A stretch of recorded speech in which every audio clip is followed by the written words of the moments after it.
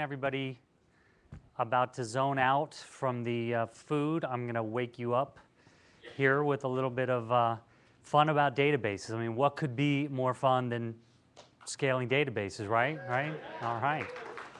Um, first, before you start, a few announcements to make. Um, uh, with two things that are lost and found department.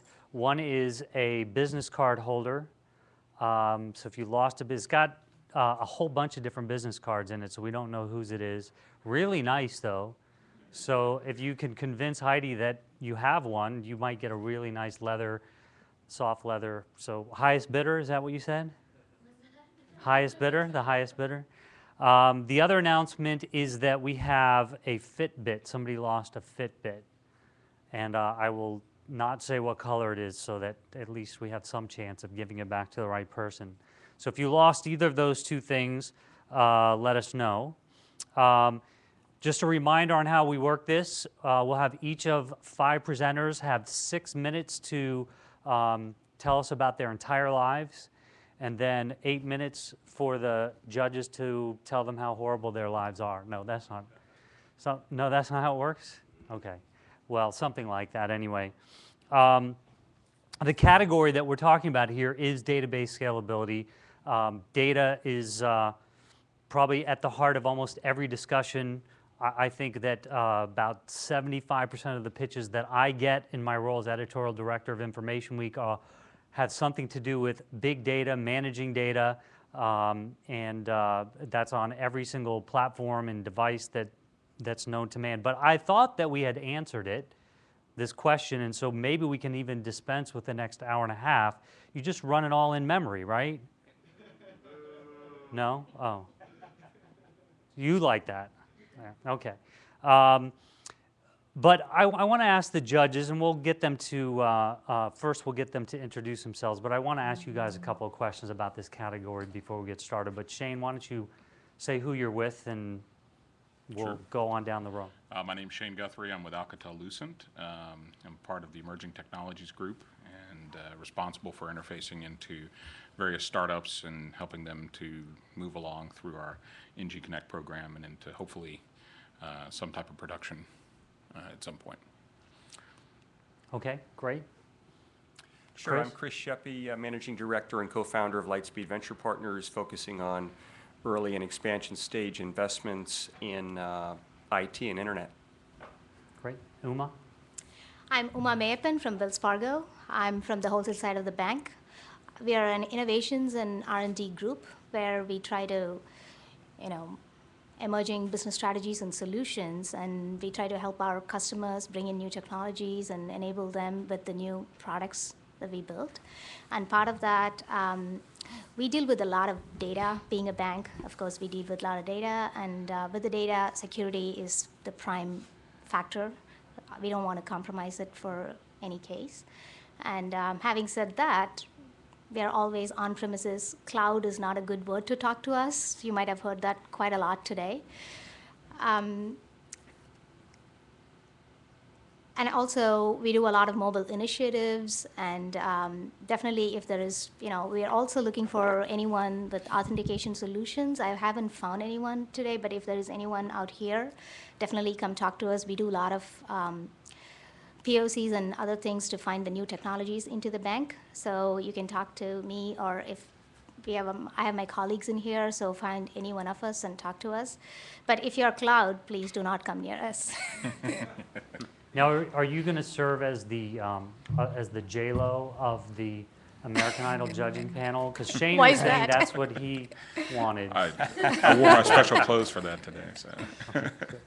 Um, So a couple questions for you guys, just to get us warmed up. Really, I'm just trying to make them sweat a little bit more, because like Bradford's like ready to jump on stage right now. So if I could just tweak him a little bit. But um, what buzzwords in this particular category would you say that we should ban from the room? I've already told my buzzword. Which is? Cloud. Cloud. You, so I'm saying to ban, like they can't use it. Like nobody can say the word Hadoop Uh, or yes. something like that. I'm, I'm just suggesting. Uh, Data federations. Data Federation, okay, no Data Federation. Anybody else want to? I think it would be too hard if I said scalability. Everyone is going to say that, but Yeah. uh, Yeah, yeah. That's don't know. part of the definition of this. I think that's. I don't want to so, hear the word shard. uh, Yeah, Yeah, no no sharding. sharding, and, and I go, you know, I, I- relational. Just don't say the word relational. Relational, okay. So you got that, right? Oh, boy. Um, and, and then just one other thing is, is, and you did this a little bit, Uma, but what, what are you guys looking for in this particular category? You know, one one of the things, um, in in terms of what's changed in databases is that the need for scalability, and I can say that, um, has, has grown dramatically with, um, you know, consumer web applications. But in addition to that, um, you know, the variability of data requirements has grown and the need for change. The applications are put out there, they're changed frequently, uh, time to market is shorter, reacting to market needs is quicker.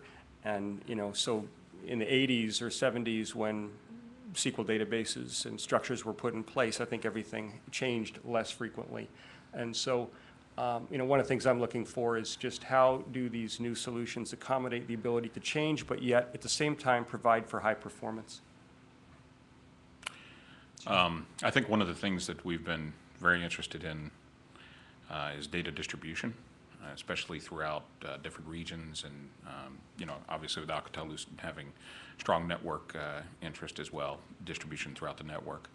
Um, One of the problems that we wind up having is a lot of uh, authoritative sources of data um, that are distributed in areas where performance uh, make them infeasible for us to access and, and gain uh, answers from. And, um, you know, the database community as a whole, uh, before we started getting into a lot of the multidimensional databases, uh, really created sort of a problem with replication and, uh, you know, real-time replication and um, you know, distance parameters because of the speed of light and other issues. So I think that what we'd like to see is somebody who thinks on a, uh, at least on a national, if not a global scale, about how data should be distributed uh, and served. And, um, you know, if there are new and interesting thoughts in that space, that, that's definitely something that always tickles our fancy. Okay, Uma? Um, not particularly in this category. If, you know, in, in general, definitely big data, getting the right data at the right time. There's, you know, that seems like a common statement, but definitely there's a lot more improvement that could be done in this. And but in this particular category, I, I kind of looked at all the different companies. They all seem to have, you know, I don't know how they are all grouped under data scalability. They all have different things which are really good, complement you guys, each one. But but they are, you know, each one is particularly different. So it's going to be interesting to see them. Okay, all right, and we're gonna have um, um, a mic runner here. I, I encourage you guys, wave your hand during the eight-minute period, and, and we'll, uh, we'll try to include your questions in there as well, but we want to cap- capture them with a mic, so um, I encourage